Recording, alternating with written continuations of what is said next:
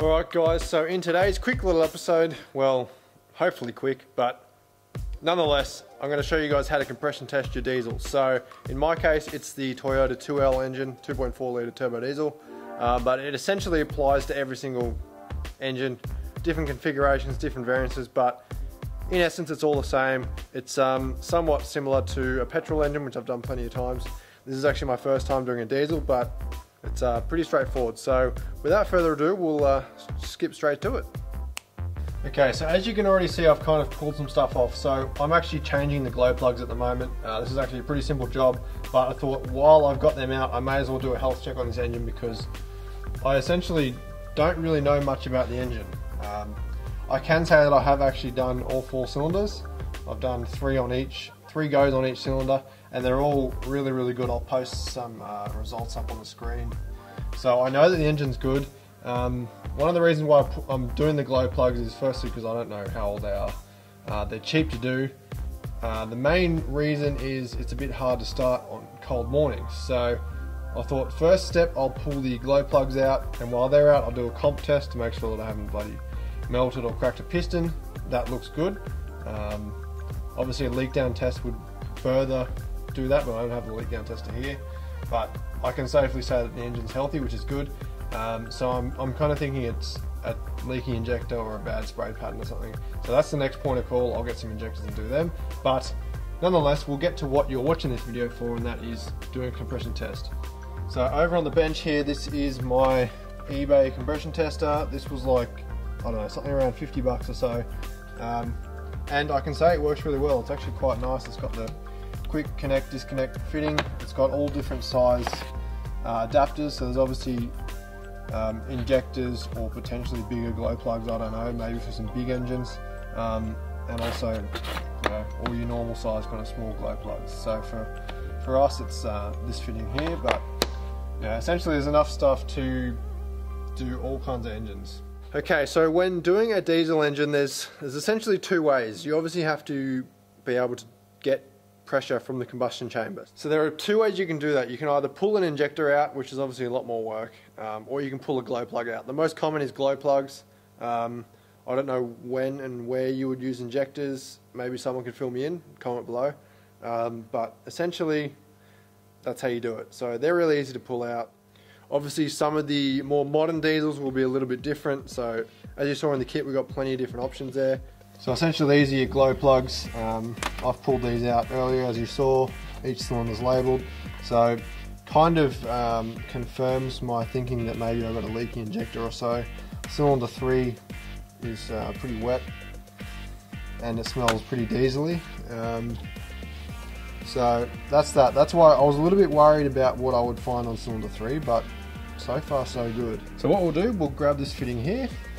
So what I like to do, and it's kind of common practice, especially on petrol engines, is, well on a petrol engine you'll pull out all your spark plugs. Uh, that'll just help the engine turn over a lot easier, uh, less, obviously you're not building up compression in the cylinder. So um, I've taken all the glow plugs out as you can see, so they go in these holes in there.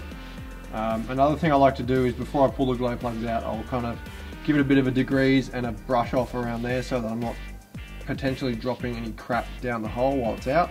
So um, for the, probably this is the easiest hole for you guys to see, so I'll thread that in and then we'll just tighten it down until it's nice and snug. Obviously don't over tighten it, um, it just needs to be snug. So I'll go do that and then I'll throw the camera on the tripod and run through how to test it. It's actually really, really, really simple. So one thing that needs to be done, which is very important, you need to deactivate the diesel pump. So on this car in particular, it's this blue plug that I'm pointing to on top of the injector pump.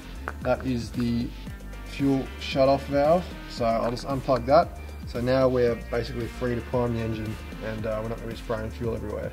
For those of you with a mechanical pump, it's basically the same thing. Uh, there'll either be a plug or some kind of connector to the shut-off valve on the back of the pump. So, so if you don't know, have a look through your instruction manual for the engine or for the vehicle and it will have all the info on there. Or go on the forums, ask on Facebook, whatever. But it'll be pretty easy to work out. So next up, you get your gauge and uh, obviously the quick connect coupler will go down. You may have to kind of hold your thumb to lift that tang up, then it will just push in and it's clicked on like that. So nice big gauge. It's actually um, actually really good quality. I might try and get that gauge to hopefully stay put there, then you guys can, can see that. Alright, so all glow plugs are out. Um, the fuel shut-off solenoid is disconnected, so we're not going to be pumping diesel, which is good. Um, the gauge is hooked up. So what I like to do is I'll start from, you know, back to front, front to back, whatever. Um, I've got a list on my phone going. I've already, as I said, I've already done it and it's already looking good, but I'll run you guys through this. So what I will mention is obviously on a bone cold engine, the oil will have drained away from uh, the piston rings and the cylinders and you may get a little bit less sealing. So uh, what I actually did, I ran this engine for about a minute or so and then turned it off just so everything's kind of circulated. There's a little bit of temperature in it. Uh, I didn't want to run it too long, so obviously don't want the engine block to be all nice and hot. But um, yeah, it, it's, it's good practice to, they say on a warm engine, but if you just run it for a bit and then kind of do it straight after, it should be fine. Um, the main thing is as long as they're all consistent, um, you'll obviously be able to tell if there's a, quite a decent outlier. But uh, nonetheless, we'll be able to tell and essentially it's time to just go and crank the engine. So obviously you want to have a fully charged and strong battery because you are going to be cranking it a fair bit. I like to do three series of cranks uh, on each cylinder and then take an average. Um, Usually the first one may be a little bit lower, then it'll work up, and then maybe work up again. Um, you know, it's just it's just good practice to kind of do a couple on each one and average it out. So if you're watching the gauge, you'll be able to see kind of when it stops climbing. That's when you obviously want to stop because there's no point going any further. But I'm going to stop blabbing and I'm just going to turn the key and show you guys how to do this.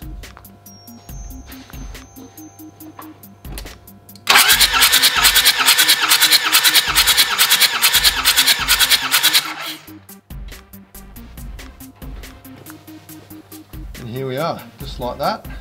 We are showing about 460 psi on cylinder number two, which is probably about right for what I just tested, but nonetheless. So uh, obviously it's got a one-way valve in here, which is actuated by this little relief valve. So it will hold your highest pressure essentially. Once you've done it once, kind of release it out, do it another two times, and uh, yeah, that cylinder should be a good average and you'll be able to get a decent idea of the health and uh, what's going on. So, yeah, that's literally all there is to it. So yeah guys, essentially a um, $50, $60 kit from eBay and you're good to go with uh, compression testing your engine. So, for me, it, as I said, it was just a health check. I've I've done a lot to this car, but I haven't really touched the engine yet. Um, I'm actually quite glad that the compressions are really good across the board, so um, that's awesome.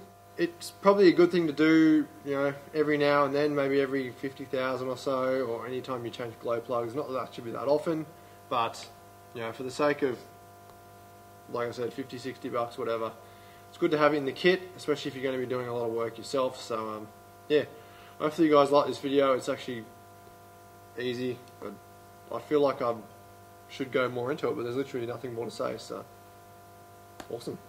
So, I'm going to go and put some new glow plugs in and keep ticking things off the list on this vehicle, and uh, yeah, hopefully you liked it. If you did, there's plenty more videos on this car and plenty of other fast cars and all that stuff on the channel, so subscribe, like, share, comment, all that stuff, and remember to press the uh, bell down there so that you do actually get updates when you subscribe, so Anyways, uh, let's go.